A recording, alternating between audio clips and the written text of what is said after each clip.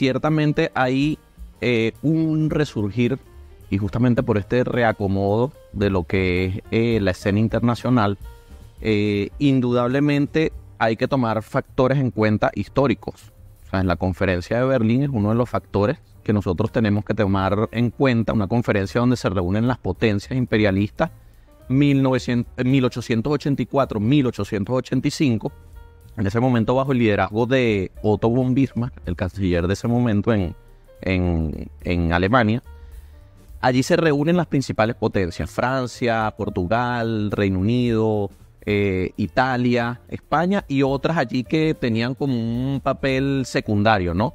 Bélgica que tenía. Bélgica, por supuesto, con, con el nefasto y el terrible eh, Leopoldo, ¿sabe? en donde ocurrió uno de los mayores genocidios que aún hoy todavía las consecuencias eh, se están viviendo, ¿no? En la República Democrática del Congo principalmente.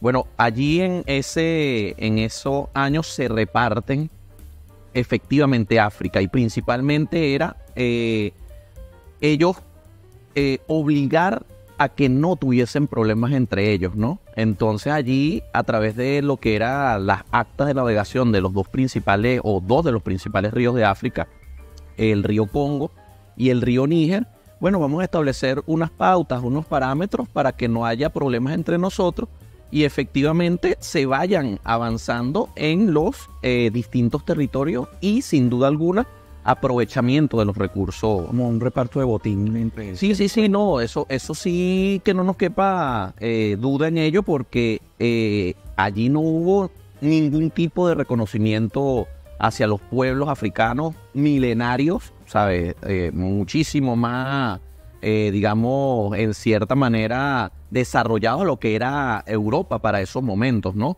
Por ejemplo, te puedo mencionar la biblioteca de Tumbuctú o la carta de Mandé, que fue como, bueno, fue no, fue eh, la carta de derechos y deberes en lo que llamaron el imperio Mali, y allí eso es de 1235.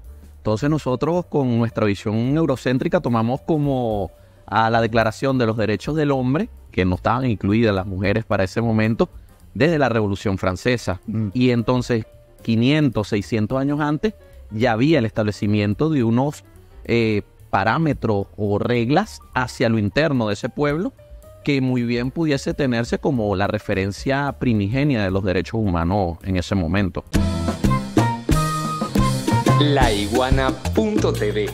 La verdad hecha tendencia.